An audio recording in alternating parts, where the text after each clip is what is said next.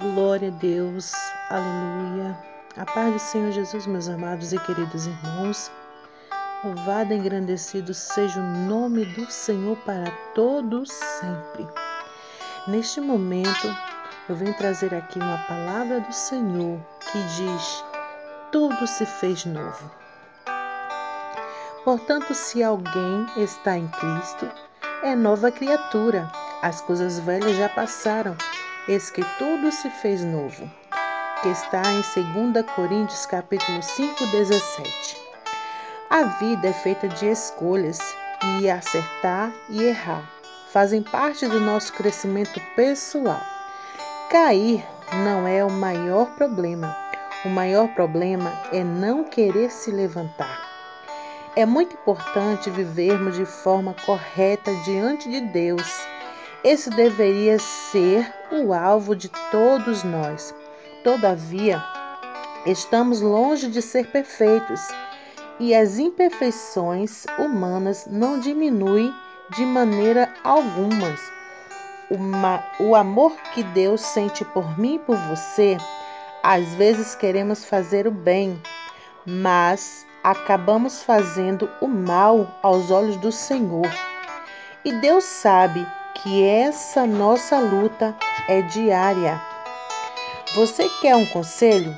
Não perca mais tempo se lamentando pelas coisas que deram errado em sua vida.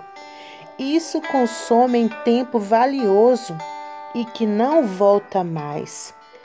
Aleluia, glória a Deus. A solução para todo sentimento de culpa está claramente descrita em 1 João 1:9 que diz: Se confessarmos os nossos pecados ao Senhor, ele é aleluia justo para nos perdoar os nossos pecados e nos purificar de toda injustiça. Nenhum pecado é maior que o que o nosso perdão de Deus. Glória a Deus, aleluia. Então, meus amados, portanto, se alguém está em Cristo, é nova criatura. Eis que as coisas velhas já passaram, eis que tudo se fez novo. O que quer dizer com esta palavra? É que quando nós verdadeiramente aceitamos Senhor Jesus, Jesus nos transforma, Jesus nos purifica de todo pecado. Jesus, ele faz com que nós venhamos escolher em qual caminho devemos trilhar, em qual caminhos devemos seguir. E acertar e errar fazem parte de nossas vidas, que muitas das vezes tem muitos que falam cair, é, cair do homem e o levantar é de Deus. Não é verdade? Cair não é o maior problema. O maior problema é não querer se levantar. Muitas das vezes a gente olhamos erros do nosso irmão, mas não olhamos os nossos erros apontamos, né? Colocamos o dedo na cara da pessoa, ah, você faz isso, você faz aquilo, sendo que nós não olhamos para o nosso erro. Quando nós olhamos para o erro do nosso irmão, nós também estamos errando. Porém, não vamos olhar para os erros do nosso irmão. Vamos olhar para Jesus e orar por essas pessoas que precisam de Jesus em sua vida. Porque Sabemos que nós passamos por momentos difíceis em nossas vidas, mas a palavra do Senhor, ela nos renova, ela nos purifica e ela nos traz alimento para a nossa vida espiritual. Quando nós procuramos se aproximar de Deus, grandes coisas o Senhor faz por nós. Quando nós procuramos se doar para Deus, Deus muda o que era cativeiro se torna livre, porque o caminho do Senhor Jesus não é que, diz, não é que quer dizer que você estando com Deus, você vai fazer as coisas que você fazia antes. Né? Jesus que ele, ele quer transformação. Ele quer que nós mudemos. Ele não quer que nós continuemos na prática do erro, na prática do pecado. Não é verdade? Então, se você quer receber um bom conselho, não perca mais tempo. Se levante.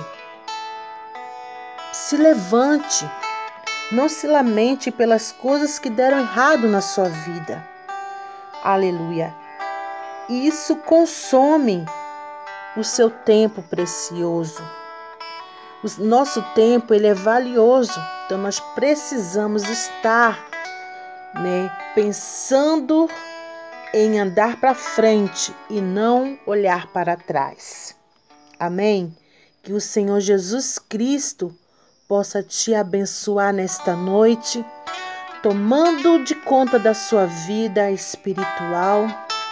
Que o Senhor Jesus, neste momento, possa ir ao teu encontro, porque eu sei que você precisa de Jesus. Tanto eu como você a cada dia precisamos de Jesus, porque este mundo jaz do maligno. Mas Jesus é o dono de tudo. Vamos se apegar com Jesus. Aleluia, glória a Deus. Louvado seja Deus para todos sempre. Aleluia. O amor que Deus sente por mim e por você às vezes queremos fazer o bem, mas acabamos fazendo mal aos olhos do Senhor, não é verdade?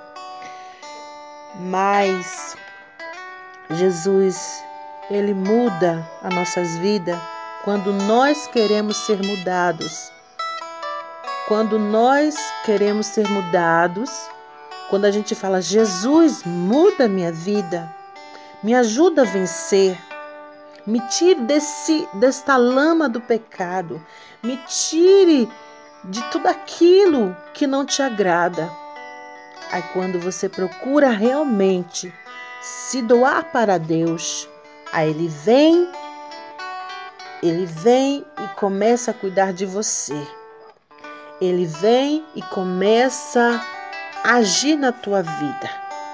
O Senhor Jesus, aleluia ele é amor, Ele é tudo em nossas vidas. Amém? Espero que vocês tenham gostado deste texto que eu trouxe hoje, desta mensagem. Tudo se fez novo. Amém? Tudo se fez novo. Quando nós estamos em Cristo, nós somos novas criaturas. Amém? Compartilhe, se inscreva, deixe o seu positivo, comenta, que é muito importante, tá bom? Tchau, fique com Deus.